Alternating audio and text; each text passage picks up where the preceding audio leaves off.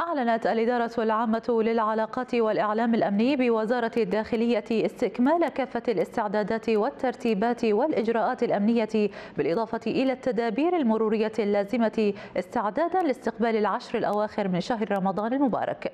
وذكرت الإدارة العامة للعلاقات والإعلام الأمني بوزارة الداخلية أن هذه الإجراءات تأتي في إطار خطة أمنية شاملة متكاملة تستهدف تأمين وتوفير الرقابة الأمنية حول المساجد والأسواق والمجمعات التجارية. وتحقيق السيولة المرورية على جميع الطرق والتقاطعات الرئيسية والفرعية.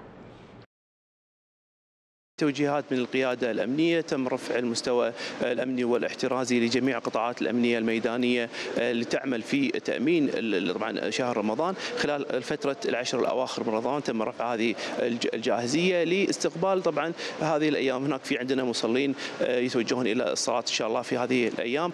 في كثافة طبعا نشهدها في كل عام خاصة في هذا العام. الأجهزة الأمنية راح تكون إن شاء الله متواجدة في جميع القطاعات من طبعا الأمن العام وأيضا المرور والشرطة النجدة والمباحث الجنائية وجميع القطاعات الأمنية في وزارة الداخلية. طبعا ملامح هذه الخطة هي هي تكثيف التواجد الأمني في في محيط المساجد وأيضا في محيط الأسواق والمجمعات التجارية لتأمين طبعا هذه المساجد وأيضا لتأمين الانسيابية المرورية في محيط المساجد. نتمنى من إخواننا المصلين المواطنين والمقيمين أيضا الالتزام في طبعا تعليمات المرور تعليمات الشرطة في عدم إغلاق هذه الطرق الوقوف الخاطئ ما يسبب عرقلة لإخوانكم في الشرطة وأيضا الأطفاء وأيضا الإسعاف في حال حدوث أي طارئ لا سمح الله.